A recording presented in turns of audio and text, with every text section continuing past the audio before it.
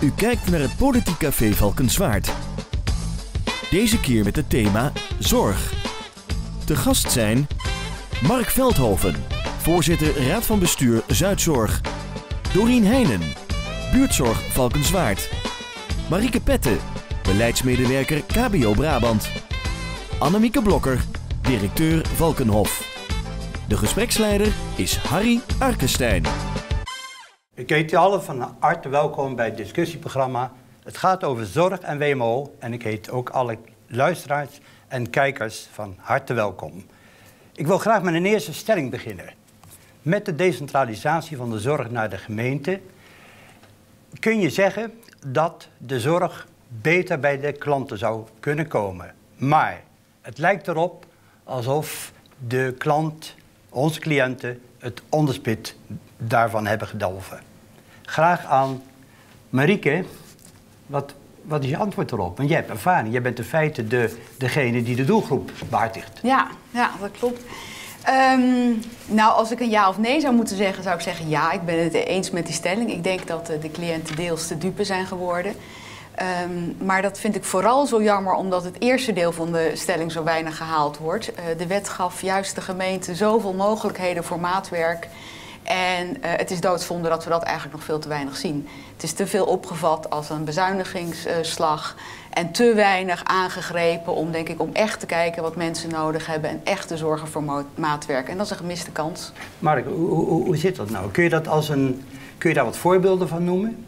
Wat daar een uiting van is? Hè? Want tenslotte was het om dichter bij de klant te zitten. Ja, ik, ik, ik kan zeker eh, veel voorbeelden ja, noemen. Er voorbeeld. zijn uh, cliënten die ons brieven schrijven, die uh, rechtstreeks met ons praten. Iets, iets concreter zijn? Ja. Wat ze dan schrijven? Uh, nou, ik, ik heb bijvoorbeeld een brief gekregen van een, een, een, onderwijzeres uit deze regio, die intussen 80 was, die een verwachting had dat ze een bepaalde hoeveelheid zorg zou krijgen, huishoudelijke zorg en verpleegkundige zorg. En ehm, die, eh, die vervolgens erachter kwam dat ze minder kregen als ze verwacht had. En ja, zij vertelde mij rechtstreeks in die brief van nou, ik heb hier geholpen het land op te bouwen. En we hebben het aan jullie overgedragen en nu krijg ik geen zorg Oké, dus, dus de mensen krijgen geen zorg. En Doreen, ja. Dan kun je ook vragen, want jij zit bij buurtzorg, hè? Ja, klopt. Dus nou, dan ben je met zorg in de buurt, hè? Ja, ja. ja maar je zit wel in de verpleging, geloof ik, hè? Dus, verpleging en verzorging, geen huishoudelijke hulp, maar wij komen wij komen wel mee in aanraking. Wij komen bij cliënten die huishoudelijke hulp krijgen en waarvan wij gezien hebben dat vooral in die tijd van die, die omschakeling, dat daar veel mensen niet wisten waar ze aan toe waren, ouderen.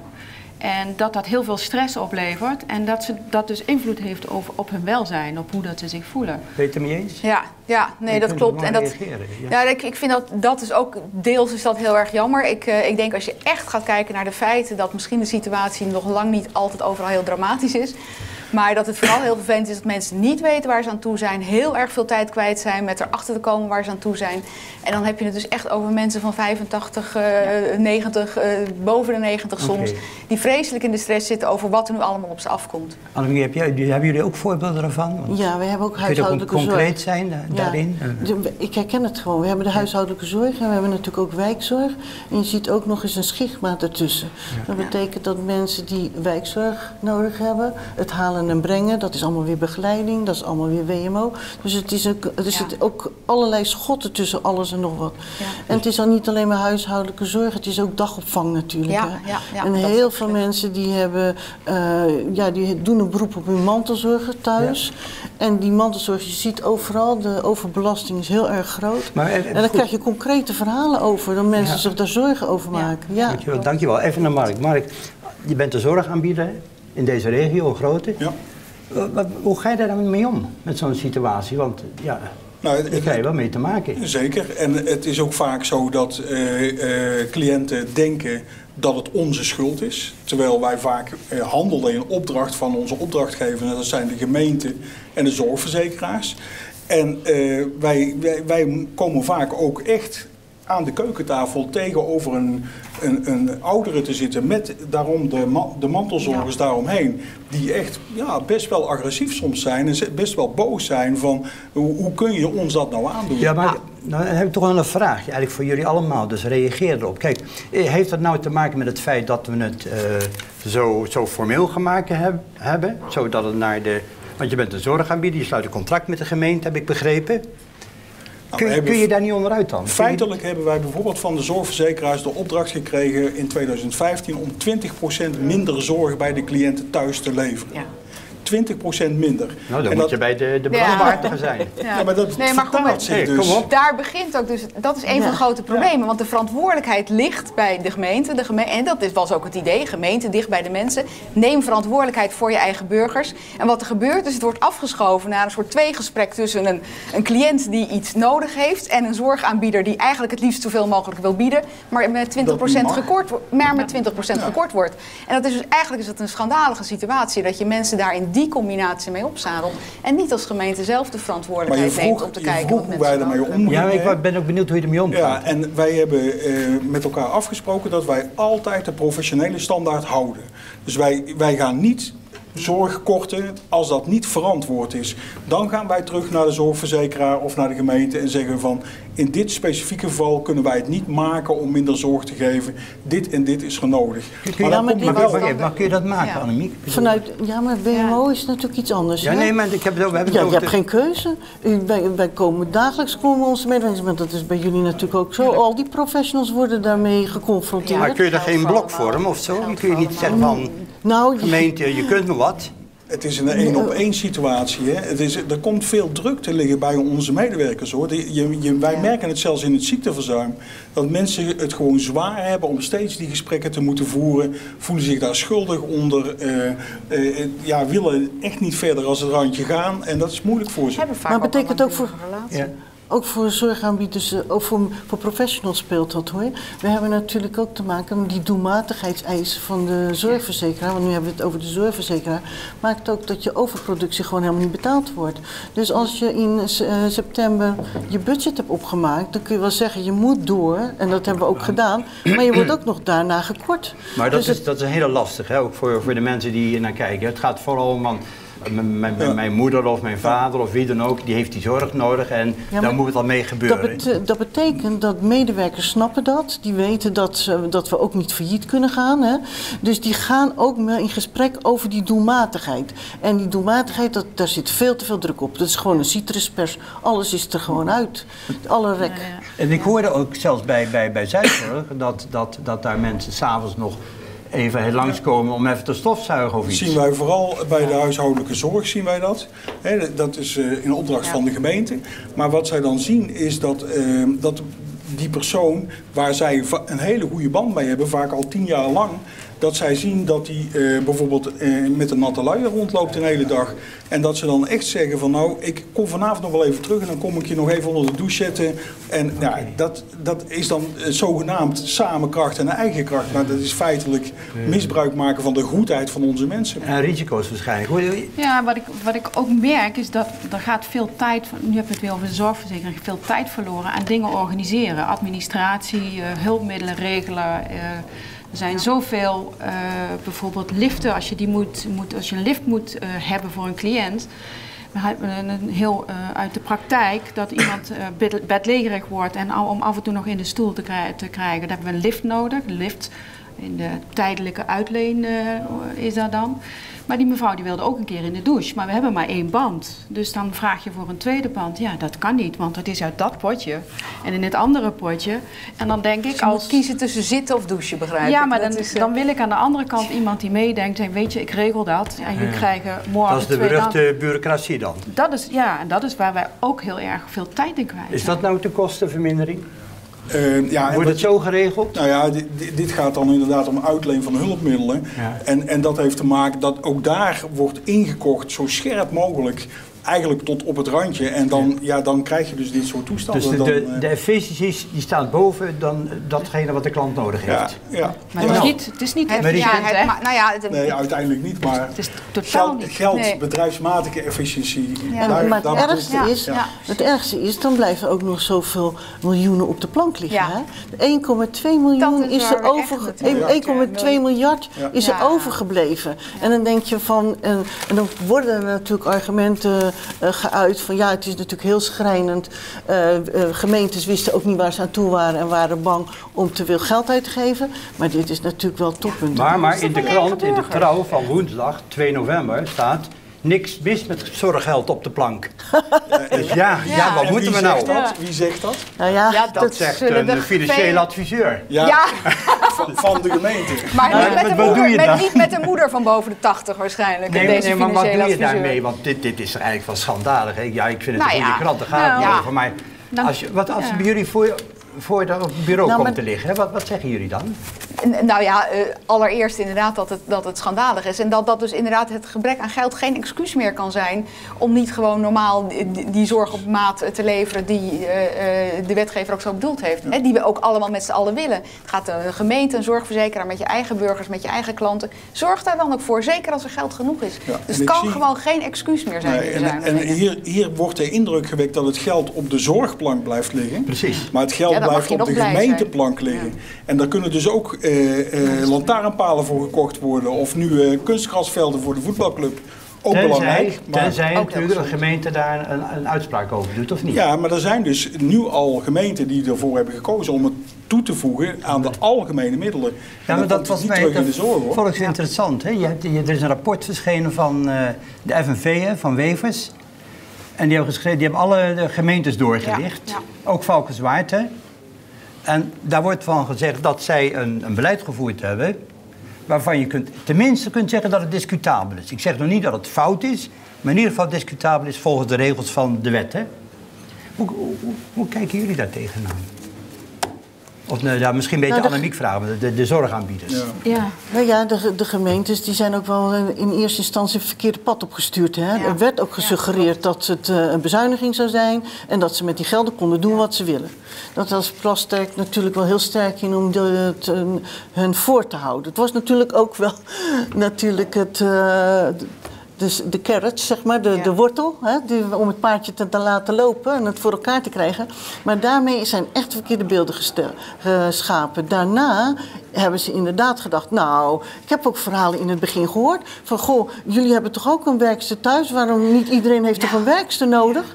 En als je met zo'n beeld de WMO instapt, dan wordt het natuurlijk al wel heel zuur. Want wij hebben toen destijds gezegd van, luister, het gaat niet over Valkenhof, echt niet.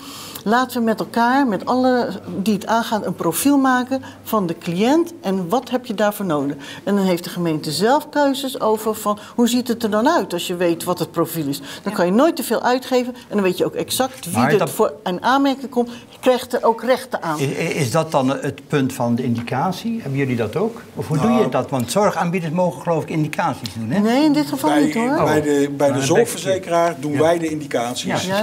Ja, Ja, en als het gaat om, om eh, eh, de gemeente, dan, eh, dan zijn het dus meestal de sociale wijkteams die de indicatie eh, stellen. En daar heb je als, als, als aanbieder Ja, niks over te zeggen? nee, Nee. nee. dat, dat bepaalt het sociale wijkteam bepaalt van eh, je hebt zoveel uur huishoudelijke zorg nodig Ja, ja. of iets dergelijks.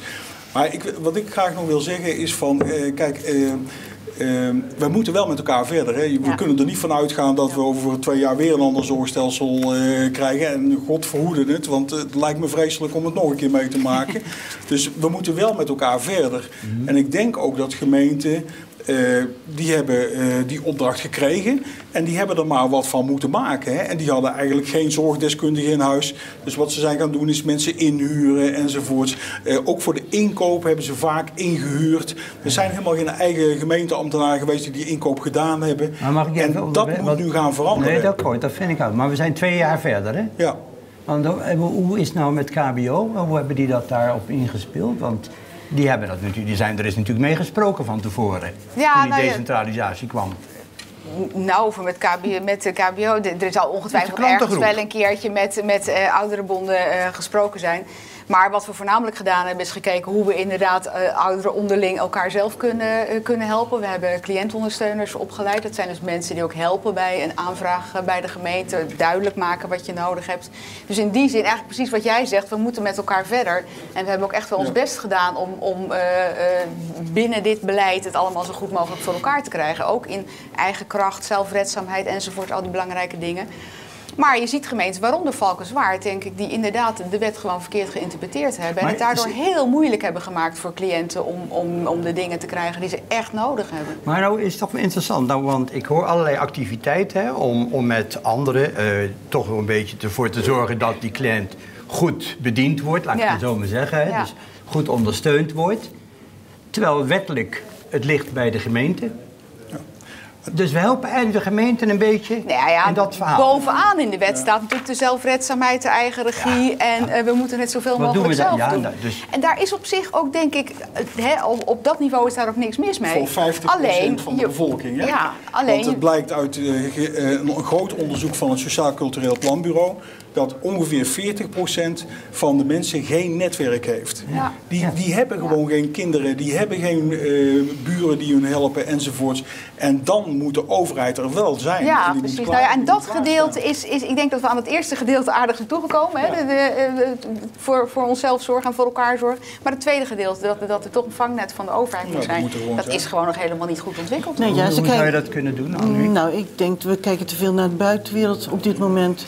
Als het gaat over die zelfredzaamheid, dan kijken we naar de landen om ons heen. Maar ik denk dat Nederland de enige, het enige land is dat zijn kinderen geoutsourced heeft naar Finex-complexen. Dus die kinderen zijn helemaal niet in de directe omgeving. En dus dat is ook een verschrikkelijke onderschatting van de werkelijkheid. Dat tegelijkertijd veel meer vrouwen zijn gaan werken, eh, hun, hun kinderen zijn weer gaan werken, moeders eh, moeten... op- je- heb Er- er is-? Er zijn geen Maar mantelzorgers. hoe los je dat nog? Want we, we staan in een situatie van een aantal dingen. De zelfredzaamheid, nou, daar is iedereen wel ongeveer van overtuigd. Hè?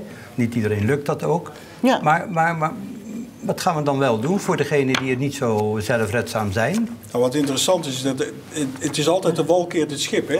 Een van de dingen die bij ons bijvoorbeeld gebeurd is, wij hebben een eh, Zuidzorg Extra. Dat is een ledenvereniging. Hè? Dat komt uit de kruisverenigingen voort. Er zijn 50.000 mensen lid van. En die zijn nu begonnen om eetclubs met elkaar eh, te, te maken. Eh, ze bakken samen taarten, ze, ze gaan samen op kleine reisjes enzovoorts.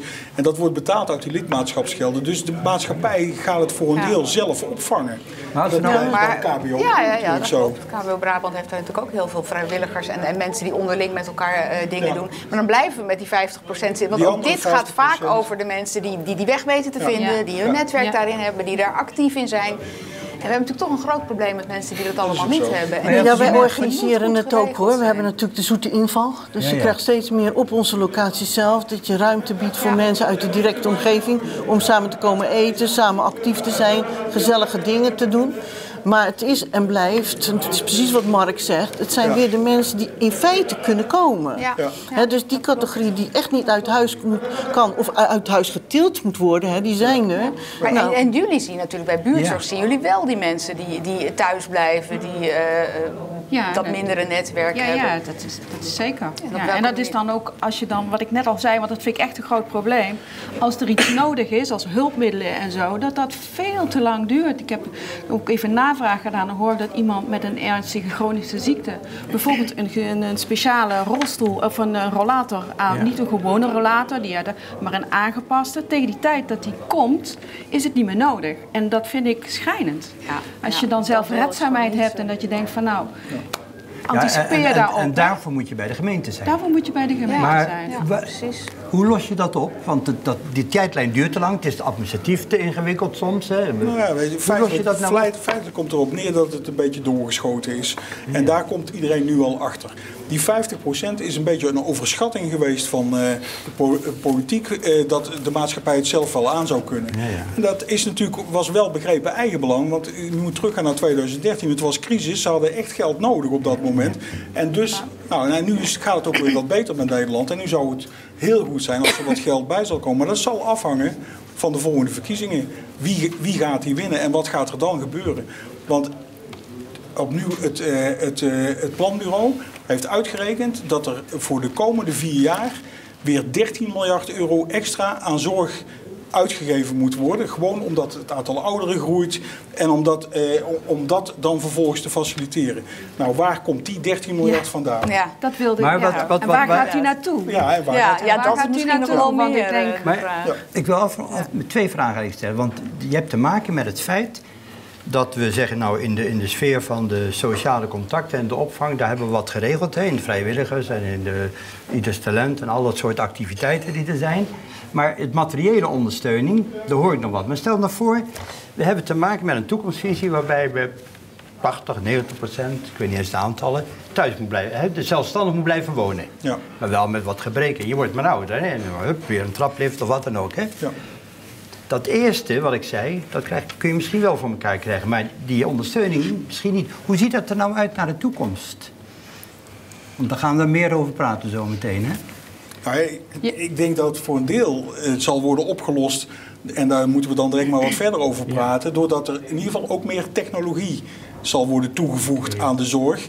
En eh, op een, op een goede manier, zodat vervolgens de wijkverpleegkundigen en de verzorgenden en de huishoudelijke hulpen gewoon meer tijd krijgen om de menselijke maat te houden in de zorg. Ik denk dat daar we ongeveer de oplossing moeten zoeken. Meens? Ja, robotisering. Robotisering? Dat ga je absoluut krijgen. Ja. Ja, En vind hoe ik denk je de- vreselijk om de te horen buurtzorg erover? Laten we het daar eens over eh, hebben. Ja, nee, ik vind, ik vind het... dit- Dus mensen hebben ook heel veel behoefte aan contact. Eh, Wij heten buurtzorg om buurt te beginnen met buurten. Omdat dat echt voor mensen vaak heel belangrijk is. Ja, Lukt dat? heten Nou, ik- ik geloof in een- Sorry, we- we- lukt dat? Ik geloof, in de- een, eh, ja, ik, ik, denk, ik geloof in een combinatie van, eh, van techniek en, en een buurtzorg heel erg dicht bij de, de mensenachtige constructies. Volgens mij heb je menselijk contact, eh, eh, eh, met, eh, zelf mogen, eh, nou ja, inderdaad, die, die eigen regie maar weer. Ja. Dus hè, als, Ja, als cliënt en als medewerker gewoon samen eh, er ergens uitkomen, daar geloof ik in. Maar ik geloof ook dat het veel beter kan worden als je er iets van technologie aan, aan toevoegt. Niet robots in huis, Nee, maar wel Nee, nee, maar de domotica, de, die de veiligheid. domotica, Eh, ze hartstikke veiligheid, soms camera's, dat soort zaken. Mag ik afronden? We gaan eh, Veiligheid. rond af Ja. Ja. voor dit punt. We gaan nog eens zo meteen verder. We gaan eerst eh, kijken naar een eh, filmpje van, met de burgemeester. Want we hebben natuurlijk ook de vragen voorgelegd rondom de zorg. Dat willen we Hartelijk weten. dank tot nu toe.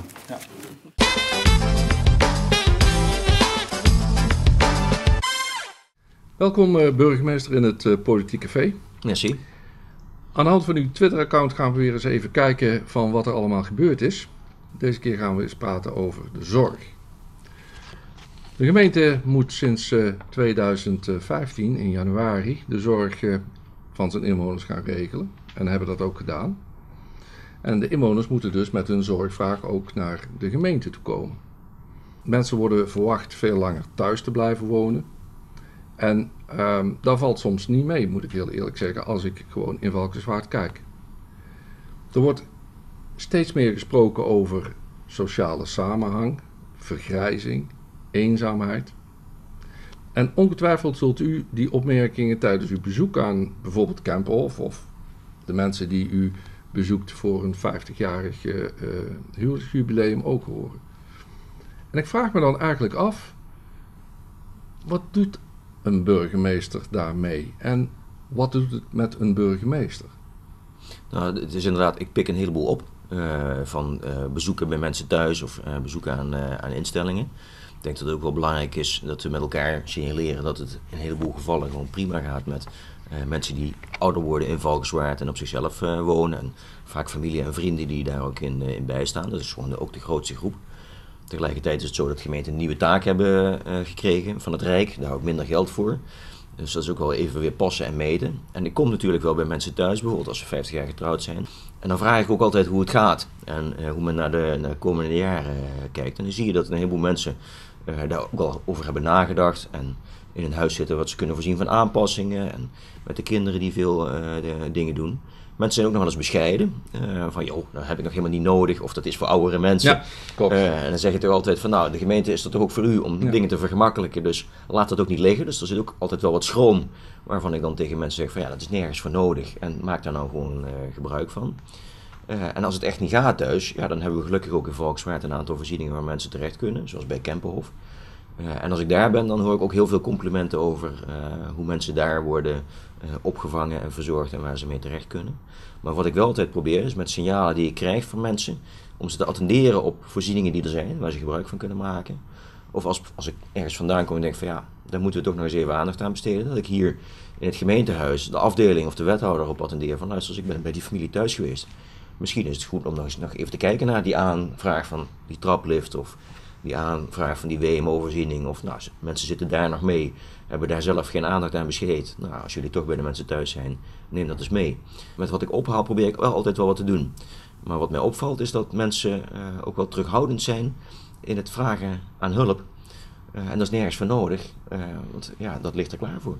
60% van de inwoners van Valkenswaard, burgemeester, zijn 55 jaar of ouder. Dat is veel. We constateren dat jongeren steeds meer wegtrekken uit, uit ons dorp, maar ook uit andere dorpen. Daar zijn we niet, niet bijzonder in. En we lopen dus het risico dat Valkenswaard heel snel vergrijst. Daarnaast zegt het Centraal Planbureau recentelijk dat in de toekomst Valkenswaard ook nog eens 2000 inwoners minder zal gaan uh, krijgen. Hoe schat u nou de risico's in en heeft u er zorgen over, met bijvoorbeeld instandhouding van een, van een zorgzame samenleving, over deze ontwikkeling? Het is iets uh, waar we als gemeente Valkenswaard, maar ook inwoners en bedrijven al langere tijd mee bezig zijn. We hebben een aantal jaar geleden ook heel duidelijk in een toekomstvisie gekozen van welke kwaliteiten van Valkenswaard willen we behouden. De manier waarop we met elkaar omgaan, de sociale samenhang, allerlei zaken die we met elkaar organiseren. En daarbij hebben we ons ook gerealiseerd van ja, eh, als ons dorp vergrijst, eh, dan is dat lastiger om dat allemaal in stand te houden. Wij willen inzetten op het aantrekken van jongeren en jonge gezinnen. En tegelijkertijd de ouderen die in Valkenswaard wonen, die dit dorp hebben gemaakt tot wat het is, dat fantastisch mooie dorp, om die ook een goede toekomst te blijven eh, bieden. En dat is een spannende samenhang. Dat betekent dat we bijvoorbeeld investeren in zorgvoorzieningen voor de oudere Valkenswaardenaren, zodat ze op een goede manier thuis kunnen blijven wonen. Of dat we hun anders helpen, of dat ze ergens terecht uh, kunnen. Maar dat we ook in onze woningbouw bijvoorbeeld met name aandacht besteden aan woningen voor jongeren en jonge gezinnen. Uh, dat we in het aantrekken van bedrijven uh, er ook op gericht zijn werkgelegenheid hier te houden. Zodat mensen hier ook kunnen blijven werken en een toekomst opbouwen. We hebben nog heel veel uitdagingen voor ons. Valkenswaard zal daar ook zeker nog een hele hoop in moeten gaan doen. Dus we wachten af. Het is wel fijn om te horen dat we in ieder geval kunnen blijven uh, uh, rekenen op, de, op onze gemeente, hè, op ons gemeentebestuur, op ja. de mensen die daar, uh, die daar zitten. De gemeente is ook voor de mensen. Precies. Ja, dus ik denk dat, dat, ik denk dat dat heel goed is. Um, en ik denk dat de, de, ouderen dan ook moeten leren om daar te zeggen van ik heb hulp nodig. Alhoewel dat natuurlijk niet altijd even makkelijk is. Nee, dat is niet makkelijk, maar uh, dat kan ook op uh, het moment dat mensen bij je aan tafel komen. Uh, dat kan ook als de keer de wethouder treft of de keer de burgemeester een, eens een keertje aanschiet. Want ook dan helpen wij graag en daar zijn we ook voor. Oké. Okay. Burgemeester, heel hartelijk dank voor dit interview.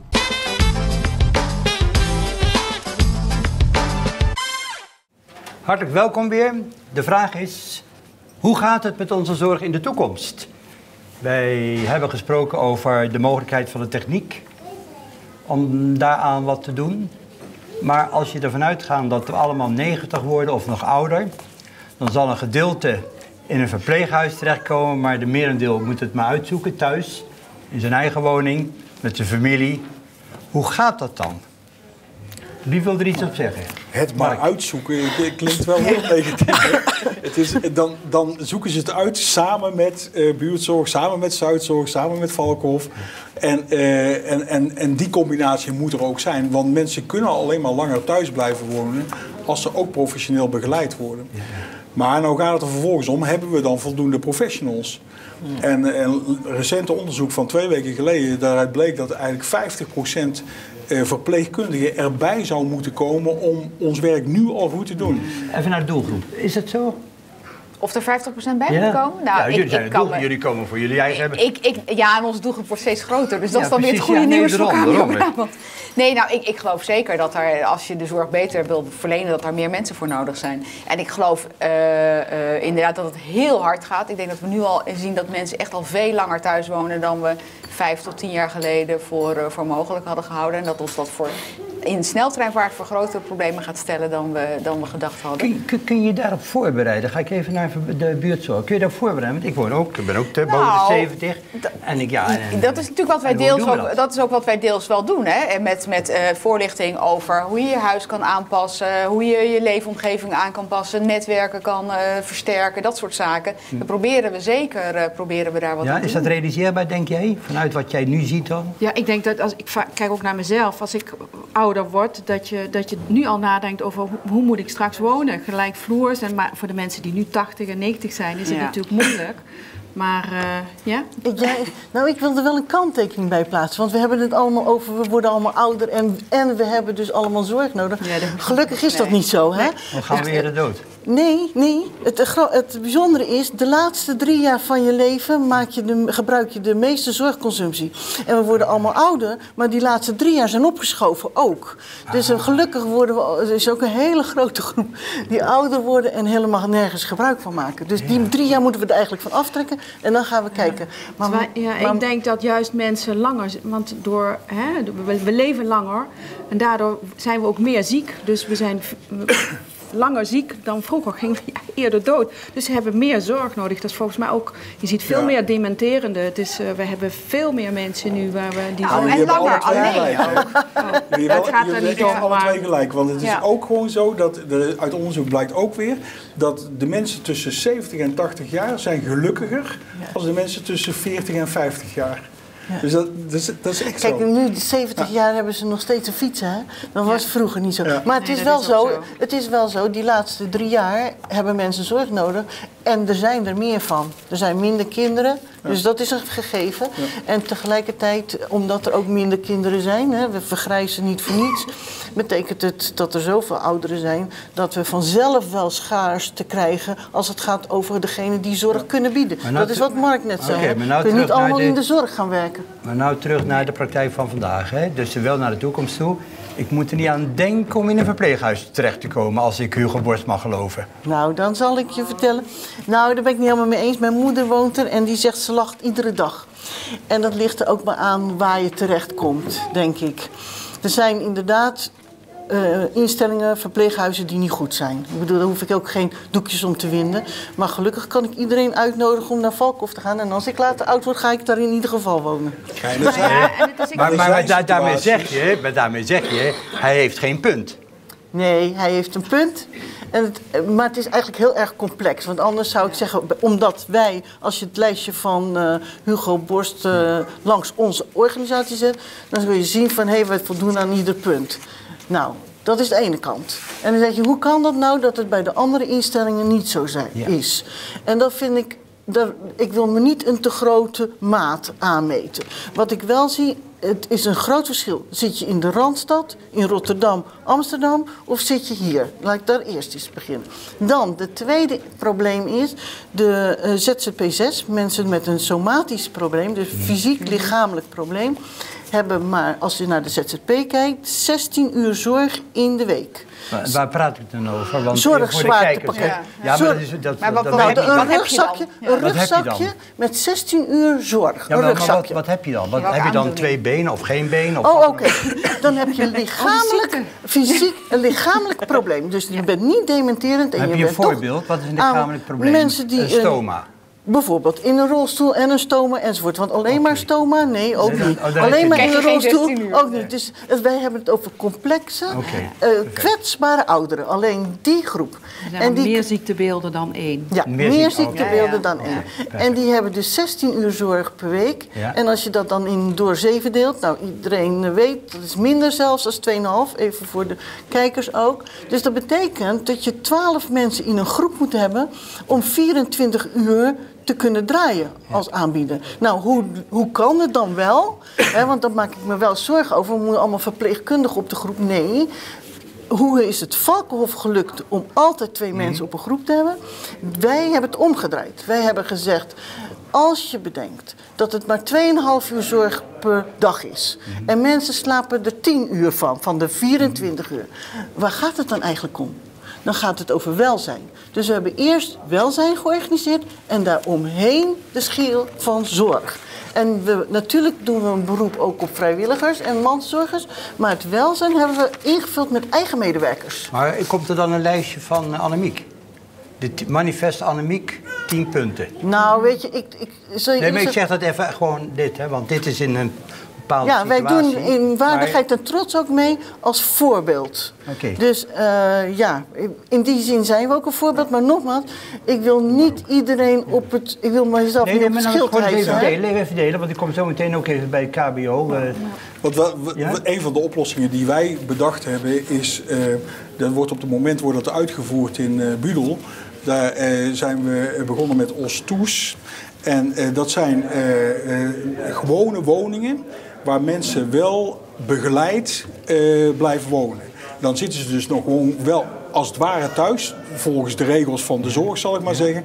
Maar ze, kunnen, ze hebben toch constant steunen en er, er spelen vrijwilligers een rol, professionals een rol en techniek speelt daar een rol. Is dat zoiets als kleinschalig? Dat is een vorm van kleinschalig wonen in de gemeenschap, eh, dicht bij de oude situatie waar je in zat. En, en, en, maar wel ondersteund met heel veel hoogwaardige technologie. Dat is een deel van de oplossing. Want het is gewoon zo dat we die, die professionals, als we dat blijven doen, dan die komen we echt tekort. Dan zou nu iedere jongere voor moeten gaan kiezen voor de zorg om dat op te lossen. En we kunnen het combineren. We kunnen het combineren met techniek. Een van de dingen die wij samen met Philips hebben ontwikkeld is de Care Census. En dat is een, eh, in huis worden er een vijftal sensoren geplaatst. Eentje op de ijskast, eentje onder het bed, eentje voor de wc, eentje voor de douche enzovoorts. En met, met behulp van hele slimme ingenieurs worden daar allerlei oplossingen bedacht. Waardoor je kunt voorspellen of iemand de komende maand gaat vallen. Of je kunt voorspellen of iemand eh, een blaasontsteking gaat krijgen.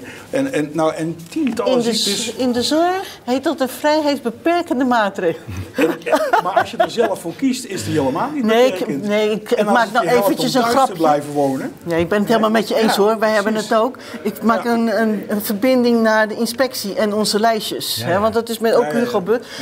Maken. de vraag was laatst van waarom eh, willen zorginstellingen geen cijfertjes meer aanleveren aan de inspectie? Precies, dat was een En dat was er één van.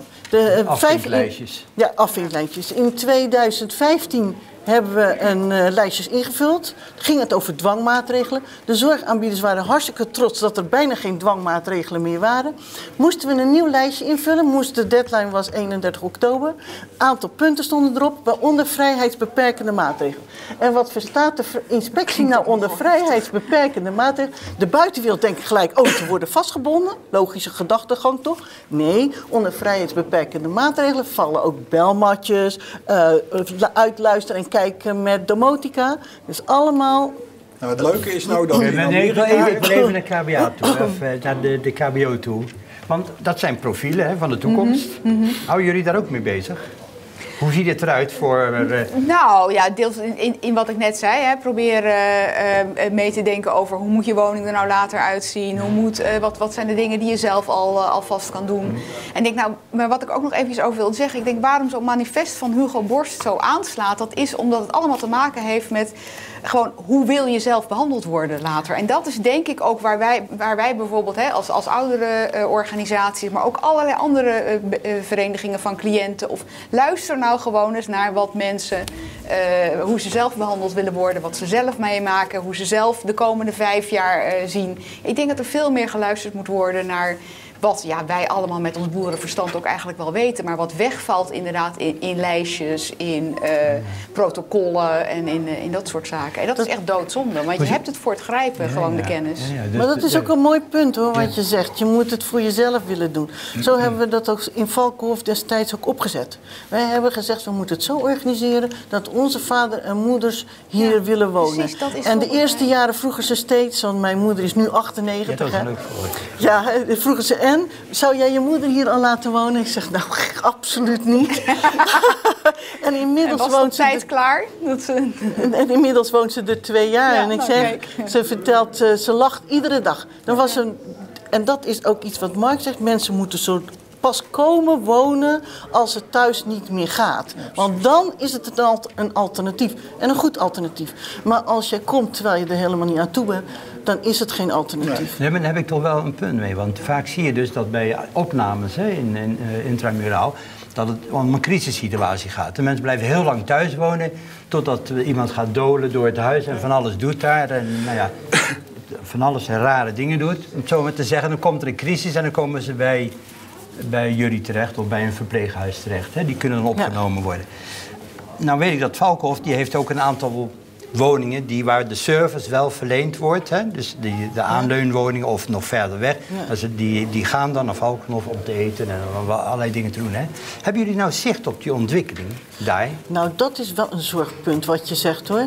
Het, het is heel moeilijk voor mensen om een indicatie te krijgen. En dat, nou, dat weet eh, de wijkzorg de mensen in de Ja. wijkzorg natuurlijk ook. Ook, Het ja. gaat soms echt te ver. En dan is het niet van ze komen te laat. Nee, ze, ze krijgen die indicaties zelf in die tussenperiode niet. Het is een grijs gebied wat echt, echt te ver is en het al ver is. En, dat, hier, dat hier speelt geld ook nog een rol, hè? ja. Want dit heeft inderdaad ook te maken met het feit dat als je in de eh, zorgverzekeringswet thuis zit, dan hoef je, eh, nou, je hebt even het eigen risico Ja, van ja. 300 euro, Ja. maar daarna is het allemaal voor kosten van de zorgverzekeraar.